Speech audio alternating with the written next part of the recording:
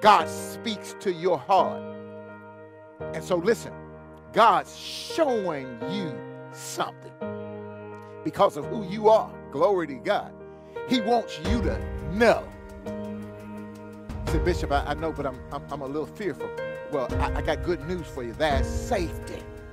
I know in the midst of, of, of counterfeit times, fake times, in the midst of, of, uh, uh, uh of deception, in the midst of, of, of all of this stuff that looks real that really ain't real. I know you wanna you, you want some safety. You wanna want an anchor that is sure. My brother and sister, you got it. Where is it?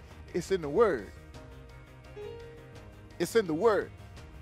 Because heaven and earth will pass away, but His Word will what? His Word won't pass away.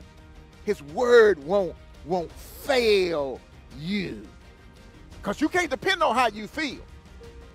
You got to have something more objective than how you feel. You can't depend upon what so-and-so said. You can't depend upon sweet sounding stuff. Because see, that's a part of the deception today. You'll have folk come and they sound legitimate. They sound sweet. Oh, it sounds real, real good.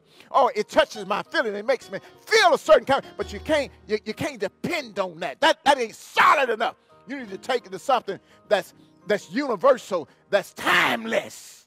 You need to take it to the word. Because the issue is not what Ronnie Crudup said, or, or, any preacher, or any bishop, or, or any apostle. The issue is what does God say in His Word.